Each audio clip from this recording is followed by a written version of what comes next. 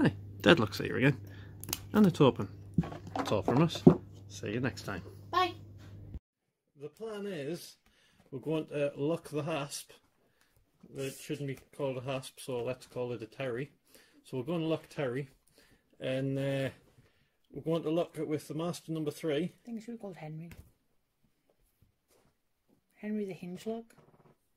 The hasp. It's Hinge Lock now. Harry the hasp. Harry the Hinge Lock. Decided.